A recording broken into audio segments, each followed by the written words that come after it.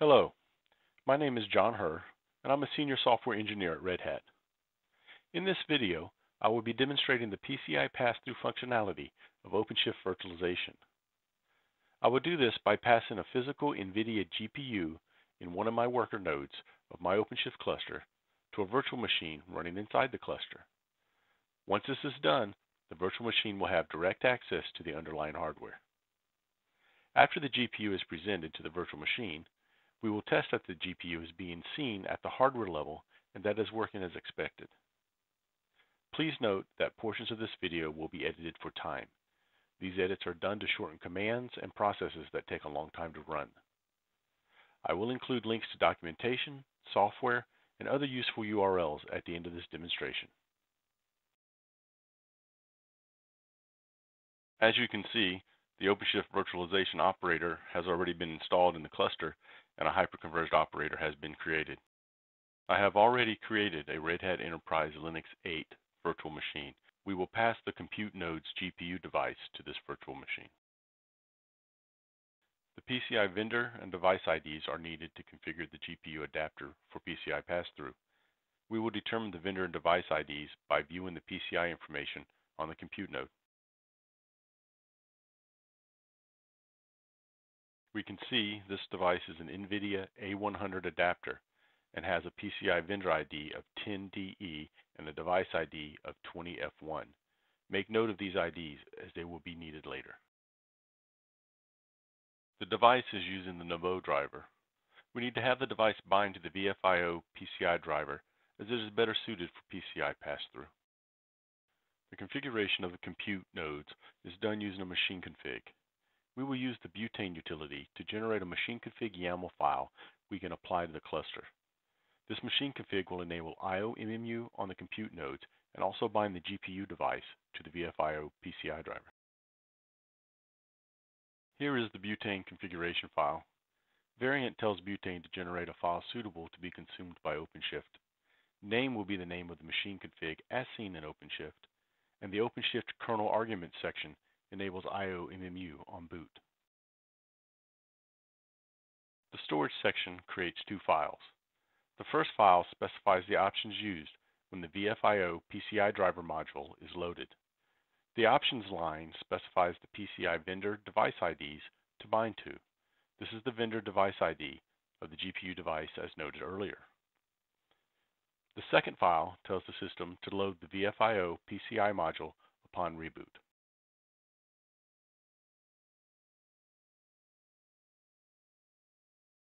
When we run the butane utility, a YAML file is created. This machine config YAML file can be applied to the cluster. When we apply the machine config YAML file to the cluster, the compute nodes will reboot.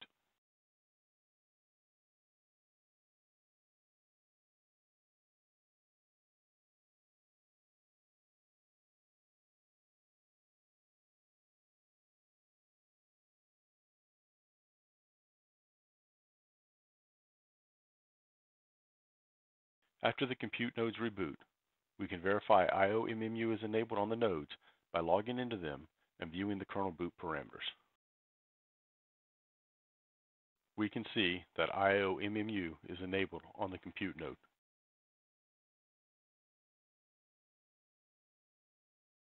When viewing the PCI information again, we can see that the GPU adapter is now using the VFIO PCI driver. Now that the compute nodes are configured, we need to configure the hyperconverged deployment so that it will pass the GPU device to the virtual machines.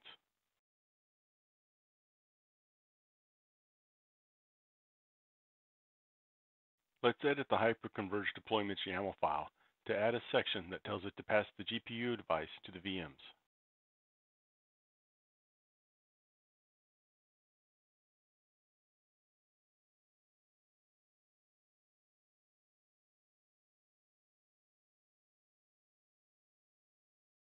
We will set the PCI device selector to the PCI vendor device ID of the GPU device.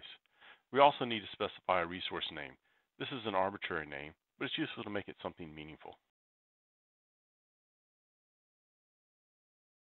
Checking the virtual machine, we can see from the output of LSPCI that it does not currently see the GPU device.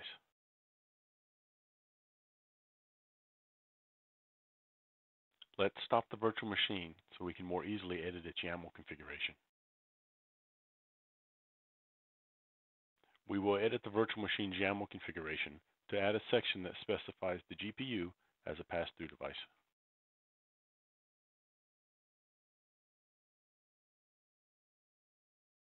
We need to add a host devices section to the YAML file.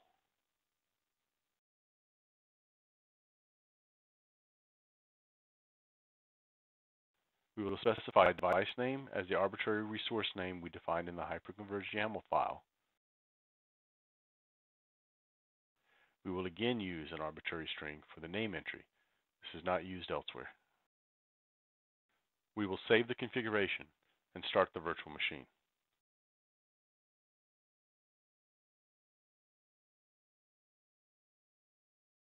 Let's check the virtual machine again.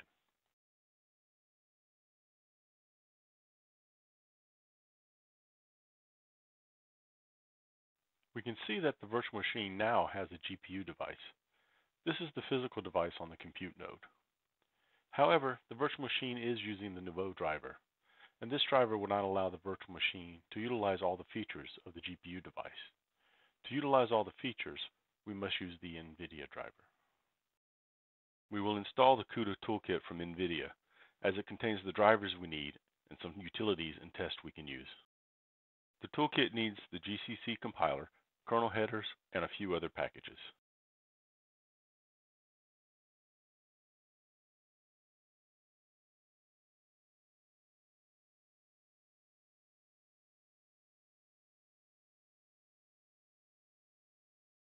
The CUDA documentation also mentions the need for some other repositories to be enabled.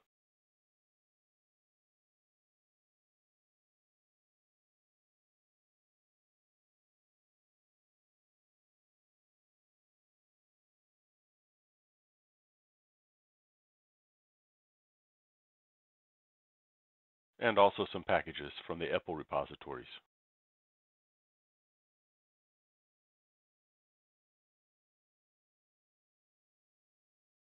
Now we can install the toolkit. I already have the URL for the toolkit's packages because I visited NVIDIA's website earlier and downloaded the packages for my operating system and architecture. When installing in your environment, you should also visit NVIDIA's website since it provides instructions for specific versions of CUDA on various operating systems and architectures.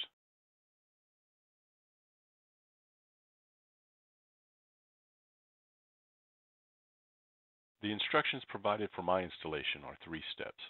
First, clean the package manager's cache. Second, install the latest DKMS version of the NVIDIA driver.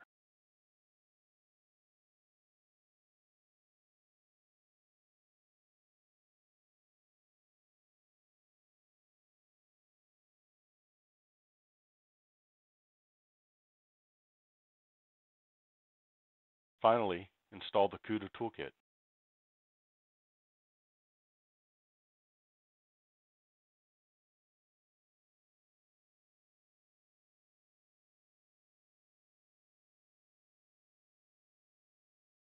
After the toolkit is installed, the directory search path and library path must be updated to include the directory containing the toolkit's executables and libraries. We will set these in the system profile directory for bash, so they will be set upon login.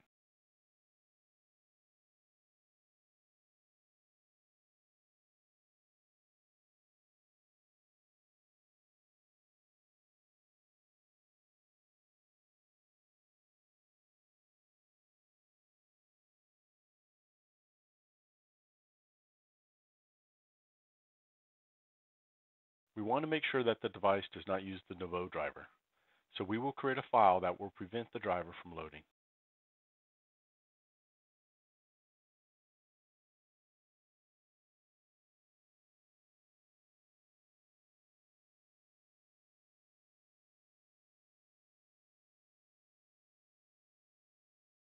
Rebuilding the initial RAM disk will prevent the driver from being loaded upon boot. Let's restart the virtual machine so the changes will take effect.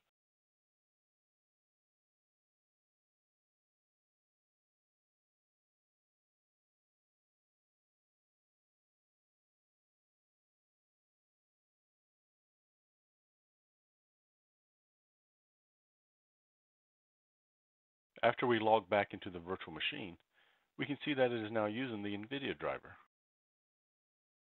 We can also run the NVIDIA SMI command to make sure the GPU can be seen by the toolkit. Now it is time to see how the GPU compares to the CPU when running a heavy workload. We are going to run an n-body simulation that is included with the toolkit. This type of simulation calculates the gravitational pull between bodies or planets. We will first run the simulation on the CPU, then again on the GPU, and compare the results. The dash benchmark option displays the calculation times without actually rendering anything on the display. The dash numbodies option specifies how many bodies to run the calculation against. And the dash CPU option tells the program to run the calculations on the CPU and not the GPU. The grep at the end of the command just cleans up the output a little to make it easier to compare. Running the calculation on the CPU took 6,250 milliseconds, or just over 6 seconds. During this time, it ran 0.168 billion interactions per second, or about 168 million interactions. Now let's run the same command on the GPU. All we need to do is remove the dash CPU option. Wow! Running on the GPU is so much faster. It only took 10 milliseconds to run the same calculation.